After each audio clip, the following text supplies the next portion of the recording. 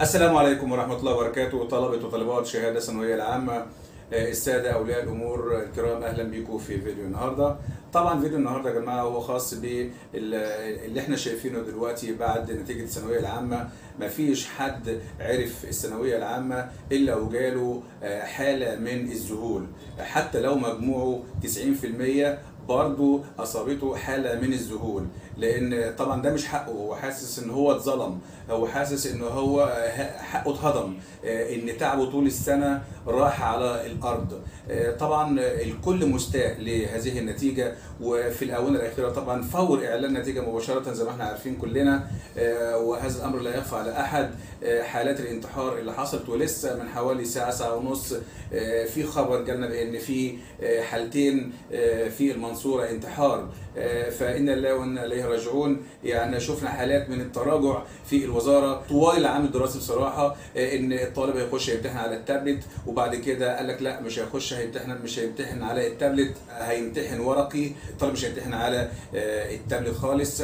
فطبعا هذا ان دل على شيء فإنما يدل على هي آه ظاهرة صحية ظاهرة كويسة يعني ظاهرة إيجابية. التراجع ده في الصالح إنه يكون ورقي عشان خايف لحسن السيستم يقع وهكذا. اذا في عوار يا جماعة. في سلبيات في هذا النظام. وأكيد طالما في سلبيات بهذا الشكل أكيد السلبيات برضو ما ننكرش ان هي طالت نظام التصحيح. البابل شيت يا جماعة ما هوش نظام رباني من فوق من السماء إن هو بيصحح بيصحح بالعدل. لا أكيد في ناس اتظلمت كتير. والناس كلها بصراحة قلبها محروق. الناس كلها حاسة بإن في مهازل حاصلة في موضوع التصحيح والتقييم وخلافه. طبعا ده برضو نظام أول مرة الطلاب بتوعنا يعني يدخلوه وما تدربوش التدريب الكافي. ربما يكون طالب اتظلم يكون ما ظللش الدايرة كاملة. يعني ممكن يكون التظليل بتاعه خرج عن الدايرة. فطبعا المسح الضوئي ما بيقراش الحاجات ديت. فطبعا ده بيوقع الطالب. فالشاهد من حديثي إن حتى حتى كمان التصحيح الإلكتروني ممكن يكون ظالم. فإحنا دلوقتي بنطالب بنطالب السيد الوزير بإعادة النظر في موضوع الورق. من تاني لازم ولادنا ياخدوا حقهم. ولادنا شباب هذا المجتمع خيرة شباب هذا المجتمع خير شباب مصر. حرام إن هم يضيعوا بهذا الشكل. الكل اتصدم. الكل جاله حالة من الهلع والذهول في كل البيوت بلا استثناء. فحتى كمان يعني يعني الزغروطة كمان مش طالعة بنفس كمان. يعني يعني أولياء الأمور بيحاولوا بيحاولوا إن هم يفرحوا اولادهم وبناتهم عشان حتى بس يخرجوهم من المود الوحش المود السلبي اللي هم فيه.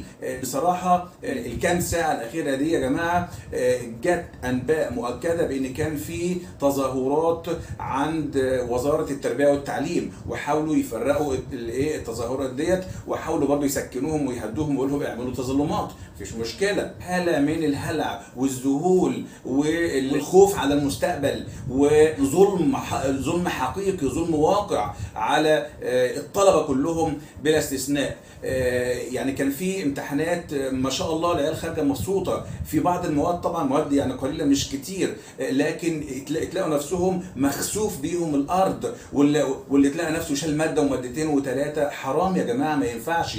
إحنا دلوقتي بنطالب بإن إعادة تقييم هذا الأمر من من تاني لازم ولادنا ياخدوا حقهم. ومش عيب التراجع مش عيب زي ما حصل تراجع قبل كده. وقلنا إن ممكن يعني إن هذا التراجع كان في الصالح. ليه ما نتراجعش دلوقتي ونشوف إيه اللي ممكن نعمله وننقذ بيه ولادنا؟ لا شك طبعا هذا إن عبر عن شيء فإنما يعبر عن مهازل في هذا النظام الجديد.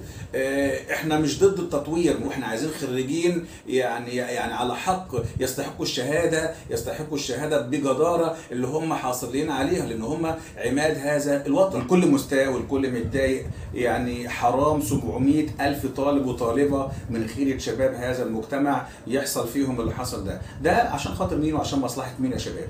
طبعا إحنا إحنا دلوقتي عايزين حل جذري لهذا الأمر عشان هذا الأمر يعني عبث بال- بالأمن القومي. دي وجهة نظري. لما الشباب بتوع هذا الوطن يحصل فيهم كده وحالات انتحار بهذا الشكل آه، والكل نفسيته متدمرة ما ينفعش وحرام آه، أنا شخصيا على قناتي بحاول آه، يعني إيه أهدي من روع الناس أهدي من خوف الطلبة والهلع بتاعهم وأخفف عنهم اللي هم فيه. وأقول يا جماعة مش مشكلة المجموع العالي. أنت ممكن يعني تحقق ذاتك برضو في مجال تاني. ما تحزنش ما تخافش.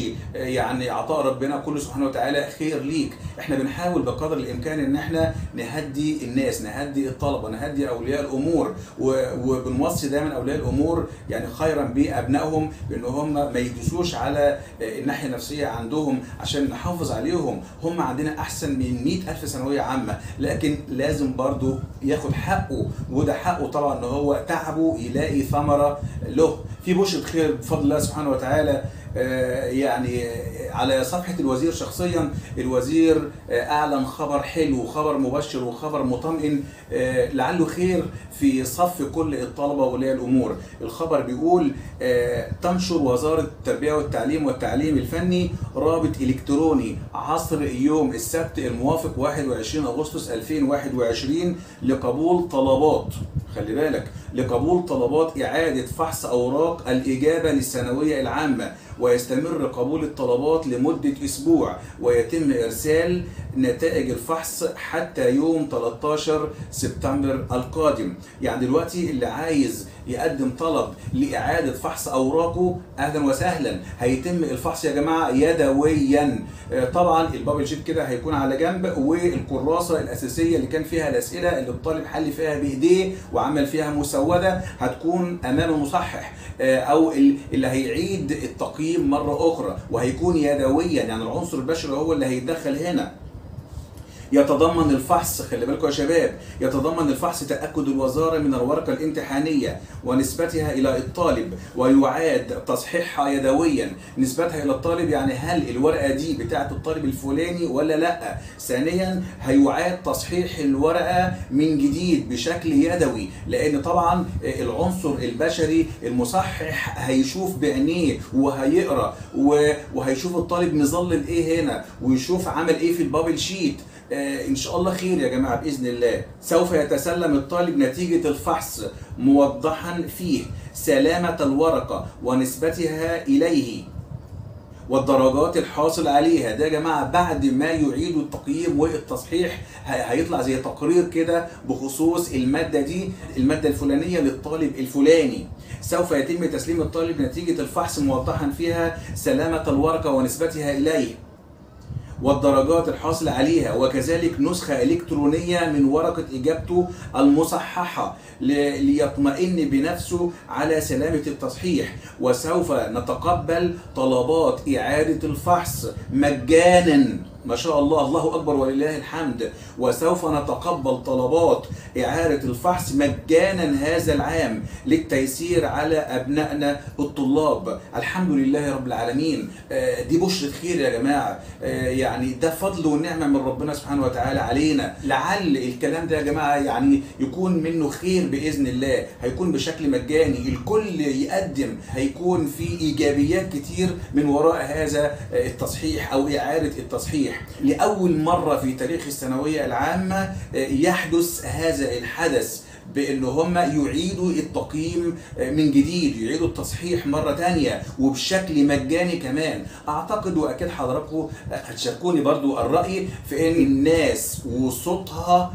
آه، وحالتها النفسية ال- ال- المتدمرة وصلت للوزارة. ووصل الأمر برضو للرئاسة برضو نفسها. آه، أكيد سيادة الرئيس أكيد أكيد له يد في هذا الأمر. أكيد دلوقتي يا جماعة اللي شاغل الكل يا جماعة هو آه، ليه الوزارة لغاية اللحظة اللي إحنا فيها دلوقتي لغاية ما الامتحانات ما خلصت حتى على الأقل ليه ما نزلوش موديل انسر إجابة نموذجية للامتحانات إحنا لازم يكون في إجابة نموذجية للامتحانات اللي ولادنا امتحنتها عشان على الأقل نشوف نقارن كده نقارن ال- الطالب يعرف إجاباته عمل إيه. لازم نموذج إجابة آه، لكل الامتحانات اللي امتحنها ولادنا. لازم النموذج دوت الوزاره تنزله كأول خطوة. ونتمنى ذلك في أقرب فرصة. لكن السؤال دلوقتي هل التنسيق هيستمر بالمراحل اللي هم قالوا عليها دلوقتي وبالحدود الدنيا لكل مرحلة آه، أو لكل شعبة زي ما قالوا هيبدأ من السبت ويخلص آه، يوم الأربع بالليل؟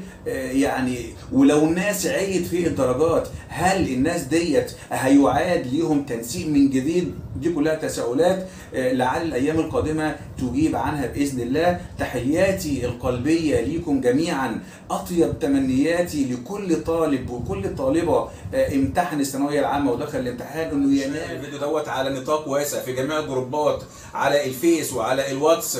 آه، يا ريت نشيره عشان الكل يعرف الخبر ده والكل فعلا يعرف حقيقة اللي اللي بيحصل إيه وإن في خير قادم يفرح كل البيوت. يا رب فرح كل القلوب. يا رب عيد البسمة على وجوهنا والفرحة على وشوشنا. اللهم آمين وسلام الله عليكم ورحمته وبركاته.